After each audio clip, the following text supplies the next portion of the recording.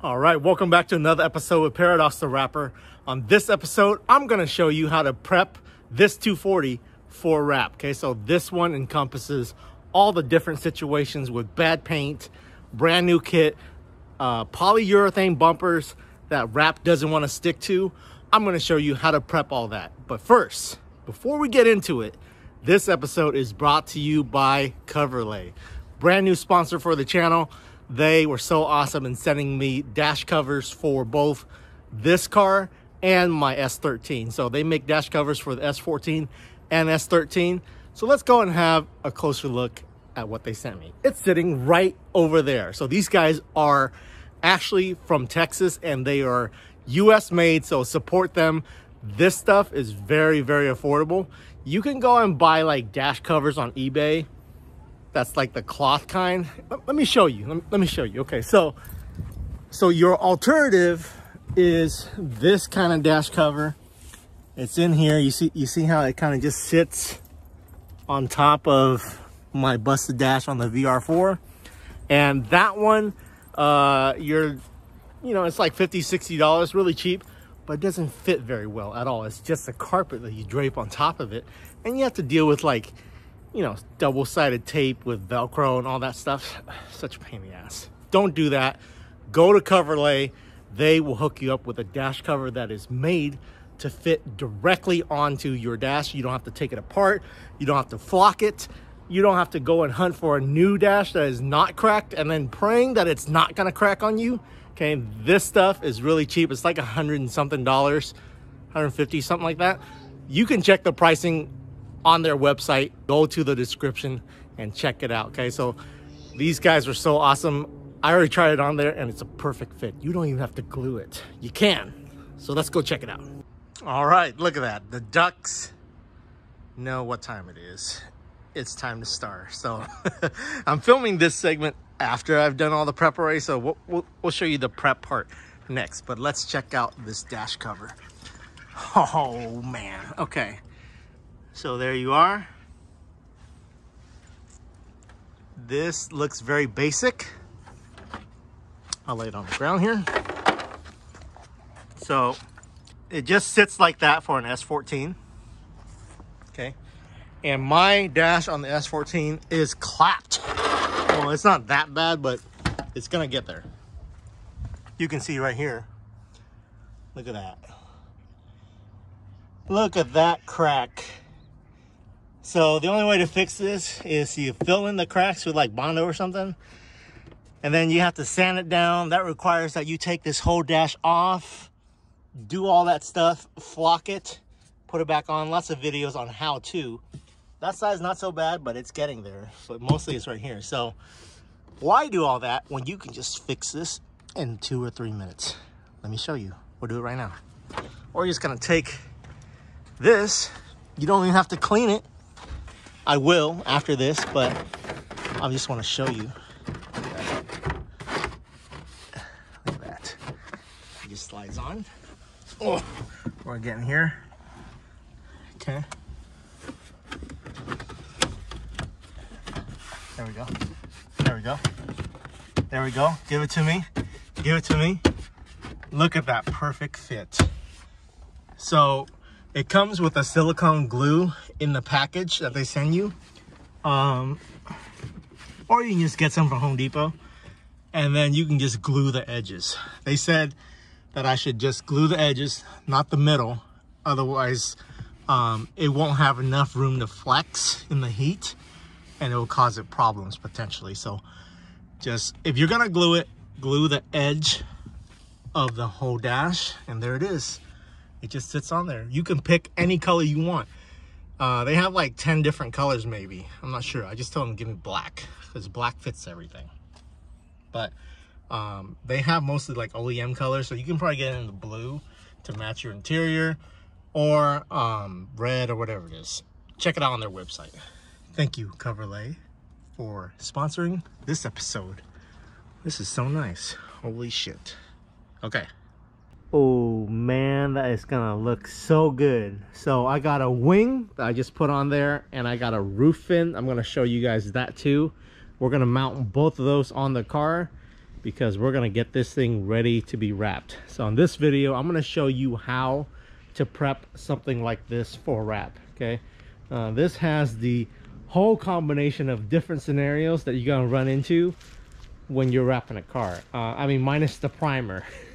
so um, yes, you can wrap a primered car, but um, this one doesn't really have any primer, but we're gonna have to sand it down a lot of it to the primer. Look at all this. Look at all this paint right here. All jacked up. So you can't wrap over this because as soon as the wrap touches this, it's gonna just stick to the wrap and not to the car. It's gonna ruin your wrap. So this whole thing really needs to be sanded down. The um, poly kits, we're gonna need to get rid of the coating that's on the poly kit itself so that uh, the wrap will stick to it. They put a coating on it so nothing sticks to it so that they can do the molding, okay? So I talked to the guys that make KBD or poly bumpers. They said that I'm supposed to scrub it with Ajax with bleach. Okay. Um, once you scrub it, it should be able to be used for paint or um, for wrapping. So we'll see. I haven't, I, this is the first time doing it.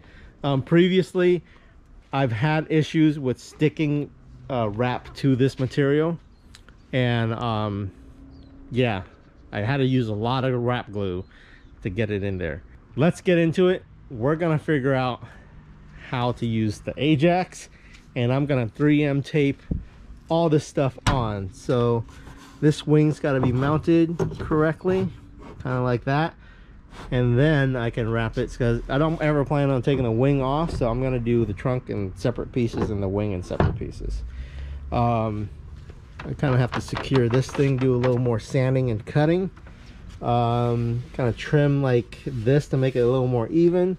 And look at all this bad paint right here. Look at that okay so this this is all I've got to go. You gotta sand it down totally smooth.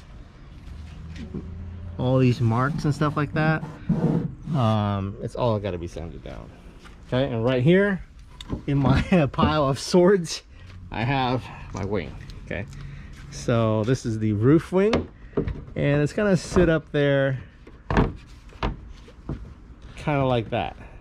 Got off of ebay super cheap does it fit that well? Yeah, it could need some help, but it will stick. Oh, okay, there you go. It stayed. It stayed. That's gonna look fire. I painted the underside of that roof wing black so that it's gonna be easier to do. Okay, I got my essentials. My, uh, whoa, whoa. Falling apart. My Vader mask. Okay for sanding and I, I like to use these things. Um, this is from this is an orbital from Harbor Freight and then the pad itself is from Home Depot. Uh, it's not like your regular pad it's like a net pad. So I find that these last longer so you don't burn through as many. Um, when you're using the regular like you know sandpaper pad all this stuff just gums it up so this is not going to be fun.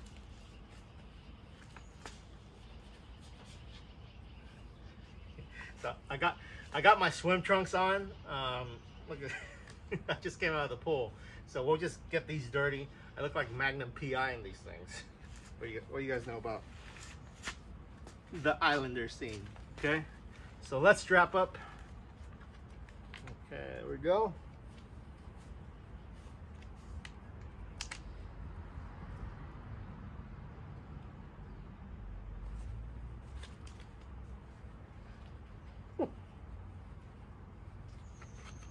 he's falling off. All right. Let's do it.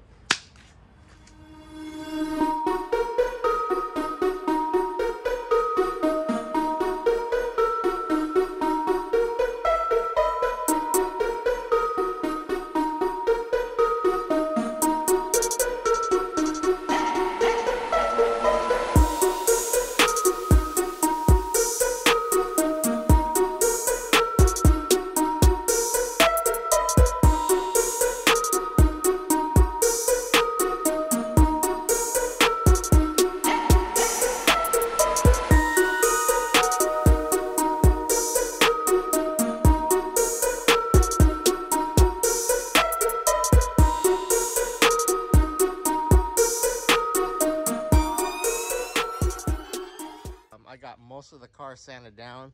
We're not gonna sand down the hood because the hood looks like the paint's pretty good. Um, if I run into issues while I'm wrapping it, I will do it. But over here we got this whole fender kind of sanded down. So anywhere where you see like flaking paint or a deviation in the paint, um, you're gonna want to sand it.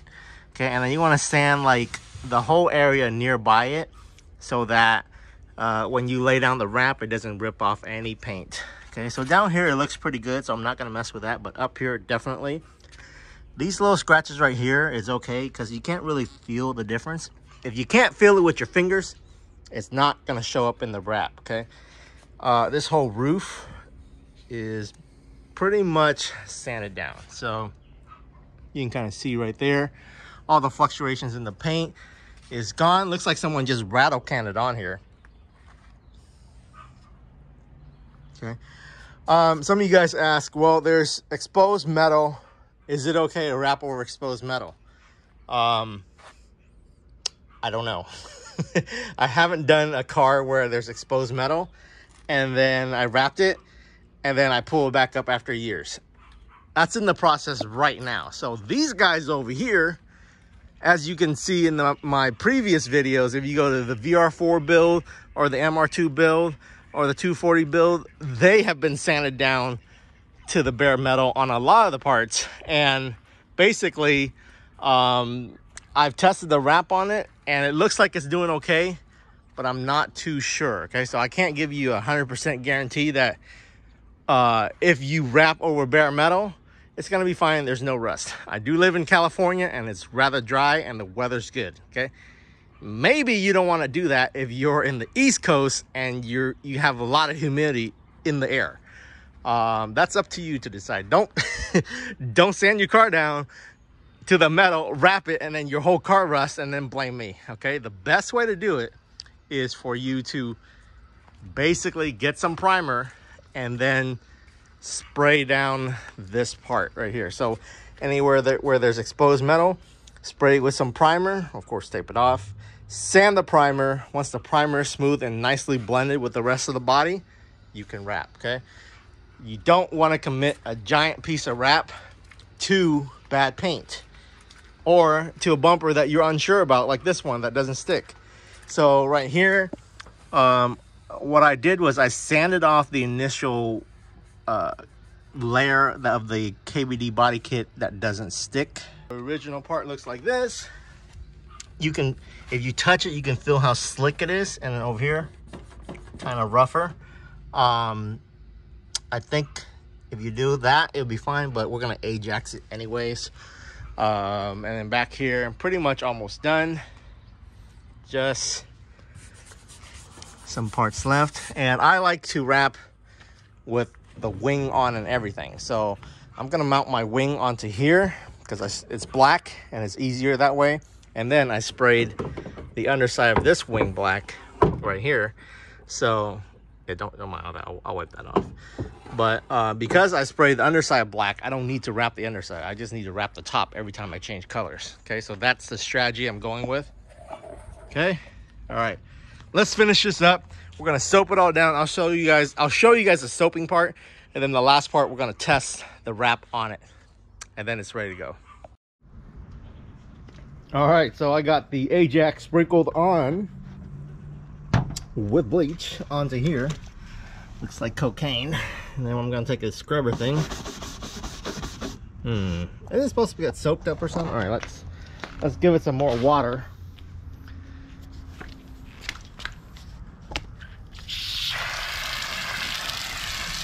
Okay, okay. A little bit little bit of juice on there. Now we're gonna scrub this sucker down just like that.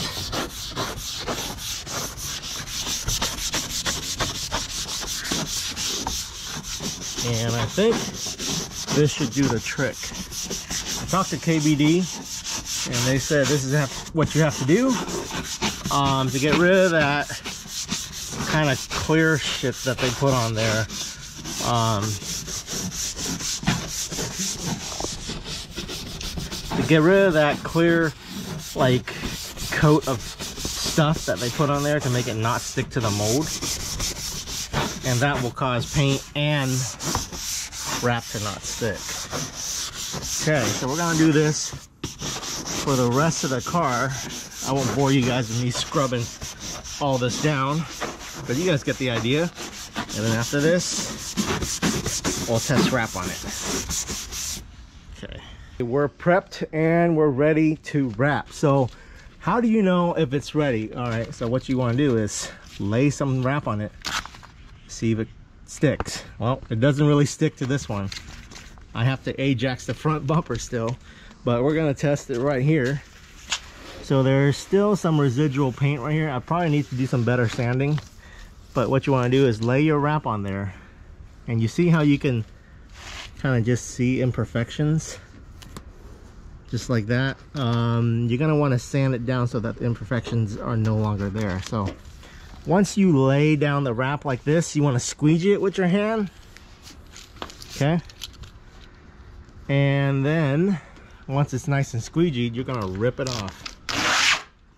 Okay, so if it rips off without much residue, you can still see some residue right here. Then it needs, if, it, if there's residue, then you're to need um, more sanding. But if there's none, then you're good to go. So you're to cut another piece Try again. Squeegee down. Okay, this is looking better. That last one ripped out a whole bunch of paint or imperfections, and that's looking good. Pull it. We're good to go. Okay. And then you're gonna do the same thing on the roof, and we're gonna try it on the back bumper here. I've already Ajaxed this. So it looks like it's kind of sticking a lot better. So you want to work it into the like the grooves right here and then see if it sticks. Okay, I feel some stickiness. That's good. I'm gonna try to test it down here to see if that's gonna stick. Okay, your the, the issues you're gonna run into is if whether or not it's gonna stick into here. You see how it's gonna pop out a little bit? But if you don't have any tension here, I think it should be fine. But you know, um, maybe I need some more Ajax down here, but the rest of it looks like it's sticking rather nicely. So I think we're good to go. All right, guys, that's it for this episode. If you've been paying attention to what's happening, you can see that over here is a S15 hood. Okay, so I'm collecting parts to do an S15 conversion at some point. Um, once I have all the parts, we'll decide whether or not I'm gonna do it. But for now, we're gonna make this thing one color. So tune into the next episode where we will wrap this car, okay? So huge thanks to Coverlay for sponsoring this episode. And if you like that dash um, that I have in there now, go check them out and go buy a, a, a dash cover that just boom, just pops in there. So it's awesome, awesome. Okay, until next time, like, comment, subscribe, guys. I'll catch you guys later.